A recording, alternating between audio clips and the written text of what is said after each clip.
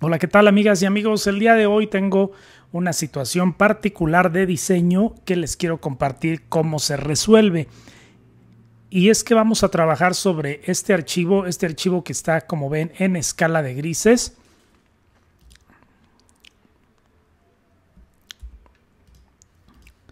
Vamos primero a seleccionar esta fuente que está toda mismo, vamos a ver, mismo, mismo, mismo apariencia. No. Vamos a seleccionar esa fuente. Híjole. Yo creo que los vamos a quitar todos. Les decían. Sí, vamos a quitarlos todos. Vamos a trabajar en este archivo que como se dan cuenta está en escala de grises y obviamente está en vectores. Fíjense ustedes, tengo todo convertido a curvas. Sin embargo, me acaban de pedir tengo todo convertido a curva. Fíjense ustedes, tengo todo convertido a curva. Sin embargo, me acaban de pedir que reemplace este logotipo por la nueva versión. Entonces me mandaron la nueva versión y es esta nueva versión. Entonces vamos a copiarlo y vamos a pegarlo. Vamos nosotros a darle más o menos el tamaño adecuado y lo reemplazamos. ¿Sí?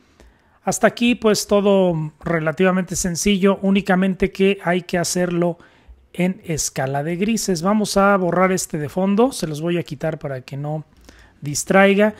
Y aquí ustedes podrán decir, bueno, nos vamos a, por ejemplo, a objeto, nos vamos a rasterizar y le decimos que lo queremos en escala de grises, transparente y le damos OK. Bueno, podría funcionar para algunos, no para mí. A mí realmente no me gusta. Fíjense cómo ha quedado todo pixelado. Por mucha resolución que ustedes le den aquí, ahora ya están trabajando con un mapa de bits, es decir, con una imagen, ya no con un conjunto de vectores. Y esto realmente no me gusta. Y aunque esto se va a procesar en preprensa en un negativo y este negativo tiene ciertas líneas, la verdad es que prefiero ayudarle y que procese puras curvas la salida. La verdad es que prefiero que procese puras curvas y no mapas de bits, entonces voy a deshacer aquí los cambios. Y para los desesperados, esto es muy sencillo. Seleccionan su objeto, se van a edición, editar colores, convertir a escala de grises. Listo, ya está. Ya, si son bien desesperados, ya pueden cerrar el video y San se acabó. ¿Sale? Muy bien, pues eso es lo que yo les quería enseñar, cómo se convierte un conjunto de colores a escala de grises. ¿Por qué? Porque ¿qué pasa? ¿Qué se nos haría o qué se nos haría?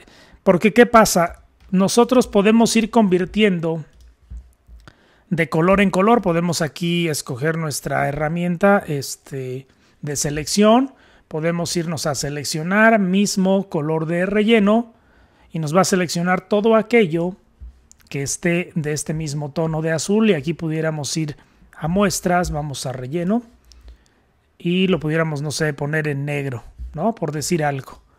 Y aquí pues igual me vuelvo a escoger mi herramienta de selección A y le voy a decir seleccioname todo eso que está en verde y pues cámbiamelo, no sé, a un grisecito como este. Fíjense, no me seleccionó este verde. Mm, Qué raro, yo no diseñé este logotipo, pero casi estoy seguro que es zip, esto es RGB. Así que no, bueno. Zip es RGB la fuente original con algunos colores en CMYK. Y bueno, y aquí me podría ir, les repito, de color por color, escogiendo, seleccionando, pero fíjense, no se pasen, fíjense en el sujeto, en, el, en este, fíjense en el sujeto, en este personaje, este superhéroe de esta escuela este superhéroe que ahora es el logotipo de esta escuela, ¿cuántos vectores no tiene?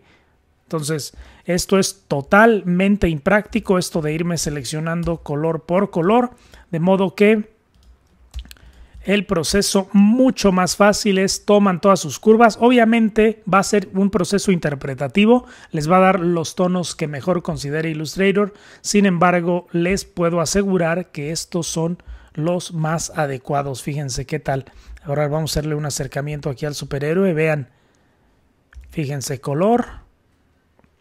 Y escala de grises. Se ve muy bien, ¿eh? Y esto ya nos ahorró un, pero un buen de trabajo.